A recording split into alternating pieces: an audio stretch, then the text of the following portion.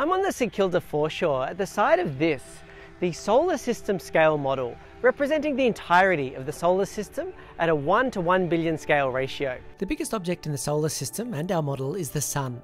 Now it's 1.39 million kilometres across, which ends up being 1.39 metres across. And it turns out it actually is hot to touch. Now that's not a design feature, it just happens to be made out of metal and sitting in the hot itself.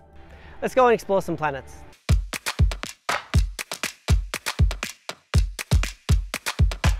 So we farewell the sun and start our journey through the solar system and down the St Kilda beach. Now this is a fantastic spot for this model. It's both lovely to be at and attracts a lot of people.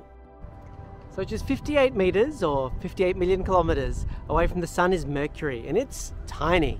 You can see already the vast differences in size between the sun and the first planet.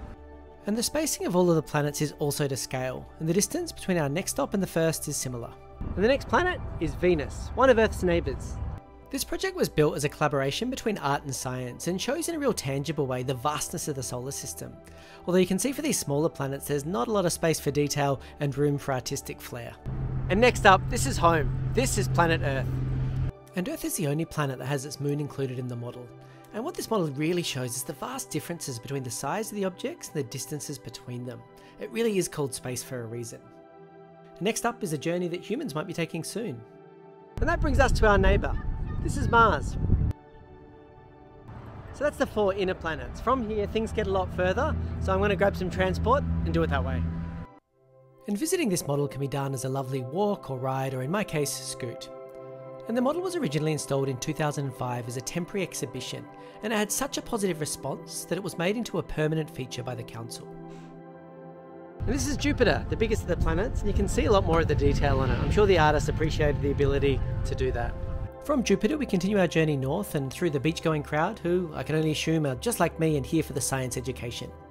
Now from here we pass the 1 kilometre from our starting point, which represents 1 billion kilometres from the Sun. Then we have Saturn, one of the gas giants and probably one of the most distinctive of all the planets. So we've gone from the Sun here to Saturn, and the distances get a lot further from here. And the designers did a great job engaging the Astronomical Society of Victoria and got a series of facts and information on each of the plaques, which is what I would read and say to the camera, implying they knew a lot more about the planets than I actually did. And as we get further out, we get to Uranus, one of the bigger planets with around 30 moons, and it's orientated differently than the other planets.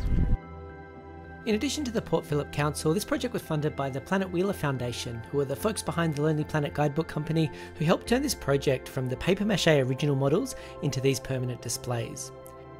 And then we have Neptune, one of the distant gas giants, and it kind of feels right that it's located right near the sea. But I know what you're really wondering do they have Pluto? Or did they install a Pluto and then have to take it down when it was kicked out of the Planet Club? What is the protocol for models when science makes categorization changes? Well, I had to make one of the longer trips of around 1.4 kilometers to find out. Okay, I've just arrived at the final spot and it's Pluto, and this is the cutest thing I think I've ever seen. This is the tiny little display, and look how little it is. I reckon this might be one of the smallest statues of anything in the world. It is so cute and so little and it feels right for something which was once a planet and is no longer. Thank you, Pluto. But it turns out that's not the end. This model had one more surprise, going beyond the 0.24 centimeter long Pluto to the nearest star, Proxima Centauri. Proxima Centauri is around 4.2 light years away. That is 40 trillion kilometers. But what they've done as part of this model is still kept it to scale. And you might be asking, how is that possible? Well, in reality, it would be 40,000 kilometers from here. But it turns out that's the same distance as the circumference of the Earth. So it's in the right spot, but to get here, you have to do a lap of the globe. And that's the solar system. If you enjoyed that, you can come to St Kilda and check it out for yourself. If you enjoyed this video, please subscribe. There's a lot more cool stuff coming up. That's it from me.